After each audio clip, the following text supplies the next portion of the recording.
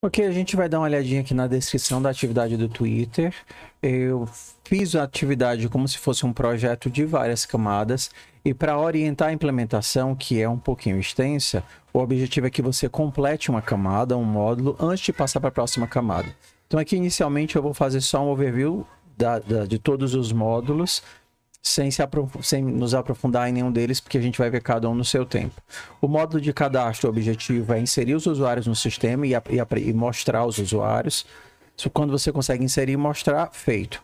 O modo de seguir cria o um vínculo entre os usuários. Quando você manda a, o Goku seguir a Sara, o Goku vai colocar a Sara na sua lista de seguidos e ele tem que entrar na lista de seguidores da Sara. Ponto. Tweetar é o processo onde o Goku a, a Sara envia uma mensagem, né? A Sara posta um tweet e esse objeto tweet criado, ele tem que ir para a timeline da Sara e para a timeline de todos os seguidores da Sara. Módulo tweetar, ok. O módulo like é a habilidade de eu pegar um tweet da minha timeline e dar um like nele, fazendo com que todos os usuários que tenham esse tweet nas suas timelines vejam que eu dei esse like. O módulo do unfollow, ele faz com que eu seja capaz de deixar de seguir um usuário. Quando eu deixo de seguir um usuário, todos os tweets desse usuário que estavam na minha timeline vão sumir. No módulo do retweet, eu tenho que ser capaz de pegar um tweet de alguém que está na minha timeline e retweetá-lo. Isso tem que ser marcado é, na, na, minha timeline, na timeline dos meus seguidores, que isso é um retweet, mostrando o tweet original e o meu tweet. E no módulo de remoção, eu tenho que remover um usuário do sistema, e isso implica em várias coisas implicam que para tirar esse usuário, eu tenho que tirar todos os vínculos, os usuários que o seguem e usuários que ele segue, eles têm que sair desse vínculo, e eu tenho que remover os tweets dele do sistema, na verdade, marcar os tweets como apagado. Se alguém pede a sua timeline, e tinha um, um, um, tweet dessa pessoa, esse tweet vai, não vai mais aparecer. E se por acaso eu tinha um RT de um tweet desse usuário, deve aparecer, esse tweet foi removido. Então, aparentemente são muitas coisas, mas a gente vai implementar em camadas e eu vou mostrar para vocês. Bora aqui para o módulo 1, módulo de cadastro. Para ele, você vai precisar implementar duas classes, que é a classe do controle e a classe do usuário. Você vai criar para o controle a, o mapa de usuários e o método add user e o toString do controle, porque a partir dele você vai ser capaz de mostrar o controle que em si é o sistema com os usuários, mostrar os usuários. Para o usuário, você vai precisar só criar o username, não precisa do inbox ainda, a lista de seguidos e a lista de seguidores, mesmo que você é, não faça os vínculos. E o toString do usuário, que vai mostrar o nome dele, a lista de seguidos e seguidores. No cadastro, no ADD User, a regra é se o usuário, se não existe nenhum usuário com esse nome, então você adiciona o usuário no sistema com esse nome. Pronto, a partir daí você já pode mostrar. Aqui a gente tem a descrição de cada um dos métodos, por exemplo, o método add user. Se não existe um usuário com esse username, cria o usuário e armazena no mapa, no, no mapa de usuários e eu imprimo todos os objetos usuários do sistema. A partir disso é para a gente ter esse comportamento. Você cadastra os usuários. Se você mandar adicionar, mostrar, vai mostrar todo mundo. O ideal é que você já faça o tratamento de exceções. Então, se por acaso você tentar adicionar um usuário que já tem esse ID, o ideal é você dizer que já existe um usuário com esse ID. Bora dar uma olhadinha aqui no módulo 2, no módulo de seguir. Para esse, você vai ter que implementar o comportamento do método seguir. Então, basicamente, você vem aqui no usuário, implementar o follow. Para o follow, você vai receber um outro objeto de usuário. E o seu comportamento é o seguinte. Se você, vamos olhar aqui o follow na descrição. Se você você não pode seguir a você mesmo, né? Então você vai verificar se não é o, o, o, você mesmo. Então você checa, será que eu já estou seguindo esse usuário pelo username você olha no mapa. Se não estiver seguindo ainda, então ele entra na tua lista de seguidos, ele entra na tua lista de seguidos e você vai entrar na lista de seguidores do outro usuário. Então você vai fazer this.following.add ou .set, dependendo da sua linguagem, esse usuário né? E usa o nome dele como chave e o outro ponto followers vai setar você como seguidor dele. Pronto, seguir funcionando, vai aparecer já a lista toda de seguidos e seguidores. Então, a partir do momento que você segue, Goku seguiu essa área, já é para aparecer isso daqui. Quando você tiver os métodos de seguir funcionando e os vínculos certinhos, aí você vai para o módulo 3. Agora para o módulo do Twitter. Os vínculos estando funcionando, o que você vai fazer é o seguinte: quando a Sara faz um tweet, hoje estou triste, esse objeto tweet ele vai passar por várias camadas, basicamente três camadas, até chegar no destino. E aí você vai precisar implementar o inbox e o, e, a, e o tweet. Então vamos aqui para esse método tweetar. Esse objeto tweet da Sara, ele vai para a timeline do Goku e vai para a timeline da própria Sara. Porque o Goku segue a Sara. Olha, quem são os seguidores da Sara? Goku. Então, aqui tá as mensagens de todo mundo que tweetou, a própria mensagem do Goku, da Tina, da Sara. Uh, e vai funcionar assim. Bora lá. Uh, quando você cria um tweet, o tweet ele tem um ID único, porque ele tem que ser criado pelo controle, que é quem gerencia os IDs através desse atributo Next Tweet ID. O controle, através do método createTweet, ele cria o objeto da mensagem, o objeto tweet, armazena esse objeto no mapa de tweets e manda, envia, entrega para o usuário fazer as entregas dos tweets. Cadê? Ó? Através aqui do send tweet. Então vamos lá.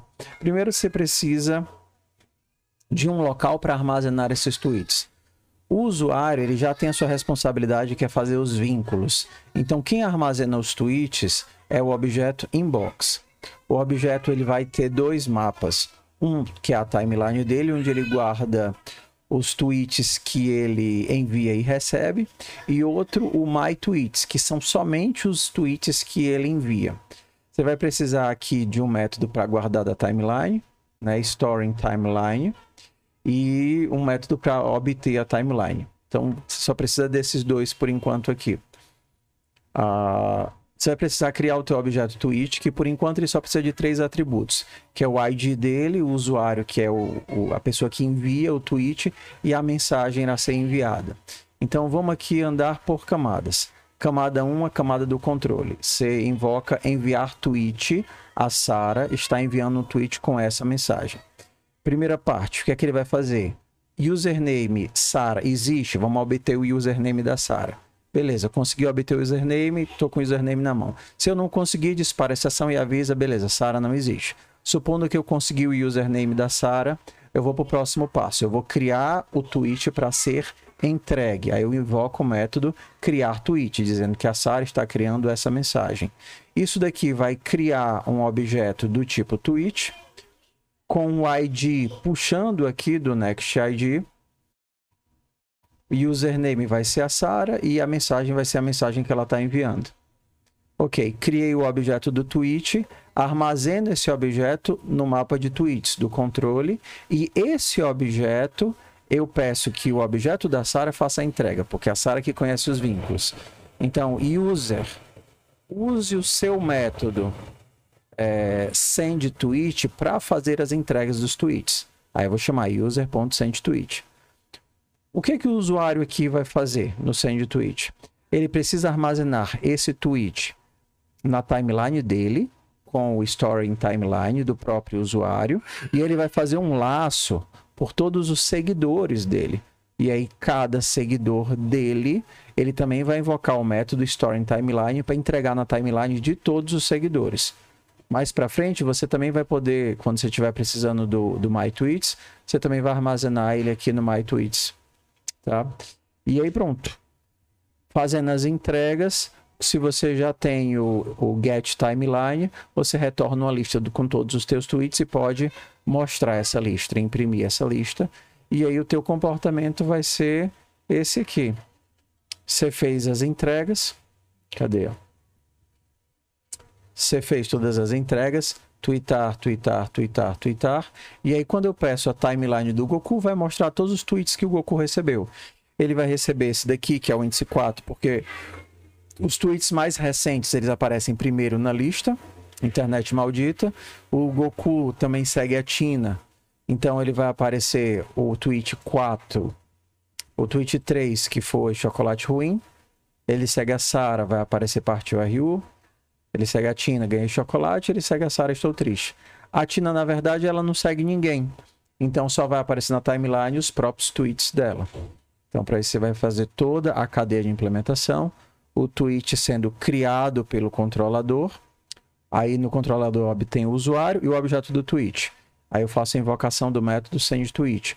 O usuário é responsável por fazer as entregas na própria timeline dele e na timeline de todos os seus seguidores.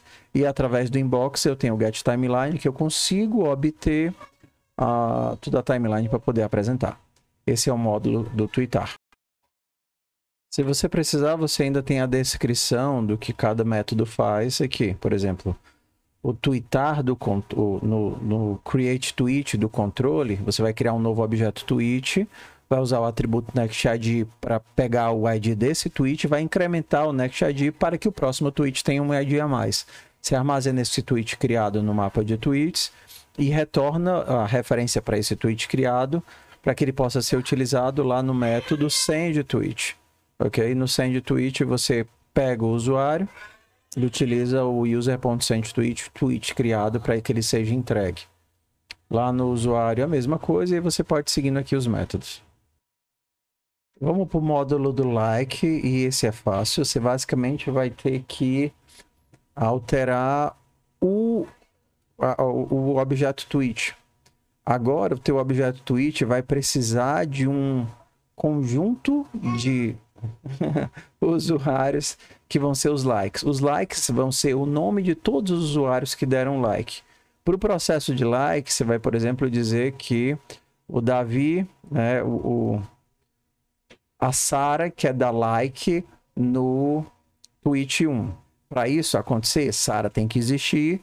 Um tem que ser um tweet que exista na timeline da Sara. Então você vai obter o objeto da Sara Dentro do objeto da Sara, você vai pegar o tweet, um tweet específico da timeline deles, pode não existir, você tem que disparar um erro.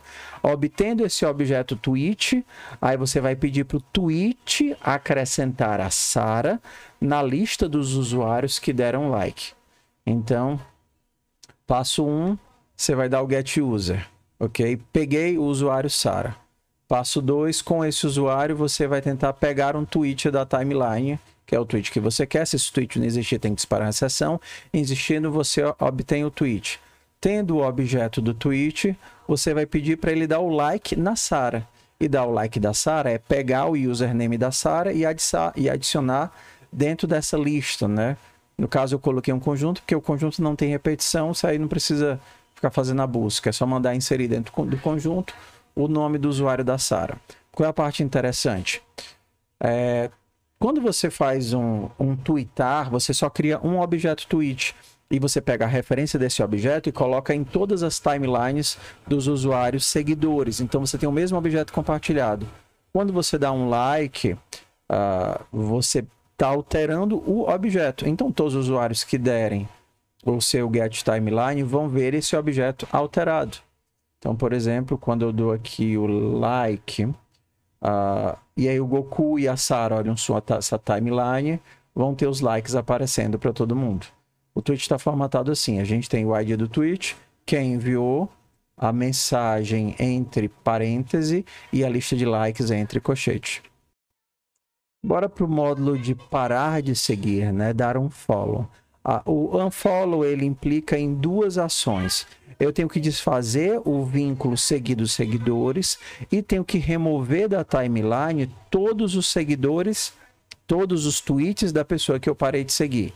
Então, por exemplo, eu digo que o Goku não vai mais seguir a Tina. Se eu pedir agora para ver o, o, sistema, eu vou ver que tanto na lista de, de seguidos do Goku a Tina saiu, quanto na lista de seguidores da Tina, o Goku saiu. E se eu peço a timeline do Goku, todos os tweets que eram da Tina não, não vão mais aparecer. Para implementar isso daqui, você vai precisar de algumas adições. A primeira delas é que depois de obter o usuário, dentro do usuário você vai implementar o método do unfollow, que você vai desfazer a costura. Você vai obter o usuário, dado o nome do usuário, você não precisa mais do objeto dele. Então, não quero mais seguir esse usuário. Beleza. Eu estou seguindo esse usuário? É a primeira pergunta. Se você está seguindo, você obtém o objeto do usuário. Você vai pegar esse objeto do usuário que você pegou. Né? Se você se não tem, você vai disparar a sessão, mas se tem, você pega esse objeto e aí você vai removê-lo da lista de seguidos e se remover da lista de seguidores dele. Depois disso, você vai pedir para sua inbox remover todas as mensagens desse usuário. Ele vai fazer o quê? Ele tem agora uma tarefa difícil, né? Porque você vai ter que lidar com essa concorrência. Você vai ter que percorrer toda a sua timeline, removendo da sua timeline todos os tweets cujo nome do emissário é o usuário que você está removendo. E aí você pode ter um probleminha de concorrência, porque você não vai conseguir ao mesmo tempo percorrer a lista e remover elementos da lista. Às vezes você consegue fazer isso. Mas se você tiver um problema de concorrência em relação a isso, você resolve assim. Primeira coisa, você percorre a lista inteira, o mapa inteiro, só para pegar uma lista com os IDs que você quer remover. Então pronto, primeiro passo, monta uma lista de IDs dos, time, do, dos tweets que eu quero remover e depois você percorre essa lista de IDs a serem removidos pedindo que o mapa remova todos esses tweets. E aí você não, não tem o problema de percorrer o mapa removendo elementos do mapa. Ok? Então pronto, modo unfollow resolvido. Para o módulo de retweet, você vai ter que adicionar no seu tweet a capacidade de referenciar outro tweet. Então você vai ter que ir lá no seu objeto tweet e acrescentar um atributo chamado RT. Por exemplo, que seria o tweet original, o objeto, a referência ao tweet que você está retweetando. E o teu toString do, do, do, da mensagem, né, do tweet, ele vai ter que se adaptar para caso exista um objeto RT, ele também mostrar o RT. Tá? E isso é, seria interessante fazer de forma recursiva, né? Então, se eu tenho o, o que seria o toString do tweet, mostro o objeto e mostro o retweet. E aí, quando ele chama o retweet, ele se tivesse outro, ele mostraria tudo, todos eles em cadeia até o meu RT ser nulo. Tá? Então aqui a gente vai precisar fazer um set RT, que você cria um tweet e dá um set RT ah, para setar quem é o retweet. O controle ele vai precisar separar se eu estou tweetando, enviando um tweet ou enviando um RT. Porque para enviar um tweet eu preciso só do nome do usuário e da mensagem. Para enviar um RT, eu vou ter que ter o um nome de usuário, o ID que, do, do tweet que eu estou retweetando e a mensagem que eu quero adicionar. Tá? Eu vou precisar dos seguintes passos. Primeiro, obtenho o usuário. Esse usuário existe? Beleza, eu tenho o usuário. Segundo, eu pego um tweet da timeline desse usuário. Eu só posso retweetar alguma coisa que está na minha timeline. Eu pego isso daqui com o get tweet, né? De dentro do inbox do usuário. Ok, consegui o objeto tweet. Ótimo, então já tenho o usuário e tenho o objeto tweet. Baseado nisso, eu invoco o método createTweet para criar o meu tweet com essa mensagem e esse username e um novo ID. E com esse objeto tweet novo, eu dou um set tweet para fazer o vínculo desse tweet que eu acabei de criar com o tweet original, né, que eu estou fazendo o RT que eu já obtive. Criei esse carinha, eu guardo ele na minha lista de tweets e eu posso pedir para o usuário fazer a entrega normalmente através do método é, send tweet. Porque para o usuário é indiferente a lógica se ele está enviando um tweet normal ou se ele está enviando um RT. A lógica é a mesma. Guarda na timeline dele, guarda na timeline de todos os seguidores.